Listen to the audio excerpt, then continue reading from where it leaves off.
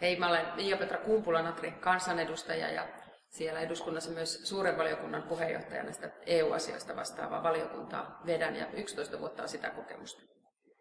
Ja OAJien vaalikonetta tai kyselyä tämä ehkä on, niin käyn läpi, pitäisikö ammattikorkeakoulut ja yliopistot yhdistää. Täällä on viiden asteikko, ei kyllä välillä, niin tämä ei ole minusta ihan mustavalkoinen kysymys. Mä olen katsonut englantilaista tutkintojärjestelmää muun muassa lähempää bachelor ja sitten jatketaan masteriin ja monelle aiheelle sekin sopisi. Meillä on kuitenkin myös Suomen malli aika toimiva.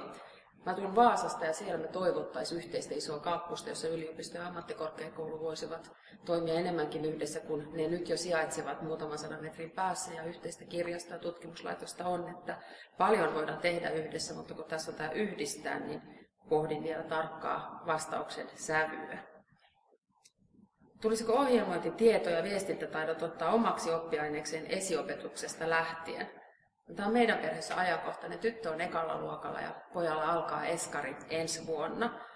He jo käyttävät näitä laitteita minua näppärämmin ja eri merkkisiä eri järjestelmiä nyt jo, ja heillä on onneksi ollut kotona siihen mahdollisuus. Että tärkeää on, että kaikki suomalaiset lapset pääsisivät tietotekniikan kanssa tekemisiin ihan oikeasti ja ajoissa.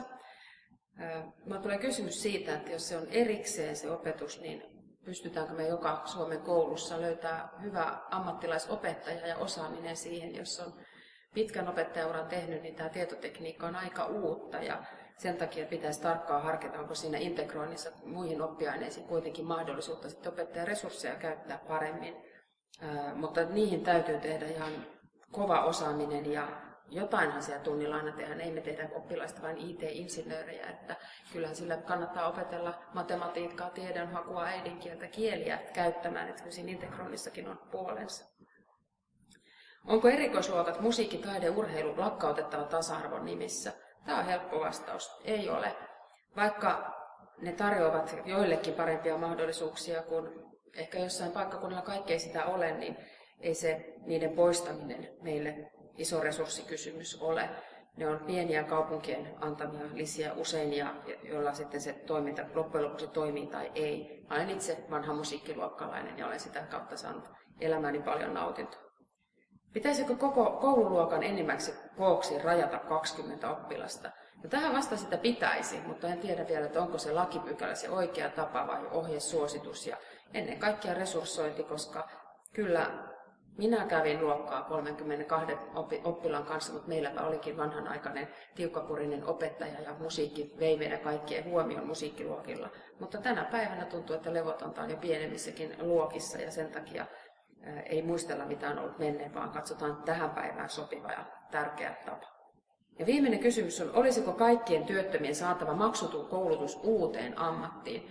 Näin on, ihan varmasti näin täytyy tehdä, mutta myös eri ikäisillä oppijoilla on erilaisia tarpeita. Että en minä laittaisi 30 vuoden lähihoitajauraa tehnyttä, ehkä allergian vuoksi tai työttömyyden vuoksi joutunutta ihmistä opintoihin alusta asti neljäksi vuodeksi tai kolmeksi vuodeksi. Hänellä on paljon osaamista ja aikuiskoulutus tulee sitten räätälöidä sellaisiksi, että elämän kokemus ja osaaminen elämästä on hyödyksi siihen uuteen tutkintoon, mutta lähtökohtaisesti jokainen kyllä tarvitsee ammatin työkentällä. Tärkeää on, mitä työtä nyt ollaan tehty tällä hallituskaudella, myös nosteohjelma. Että meillä on paljon niitä työttömiä, joilla ei ole mitään koulutusta. Ja jos heidän asema saadaan kuntoon, niin jo paljon paranee työllistymismahdollisuudet keskimäärin Suomessakin näiden ihmistenkin kautta.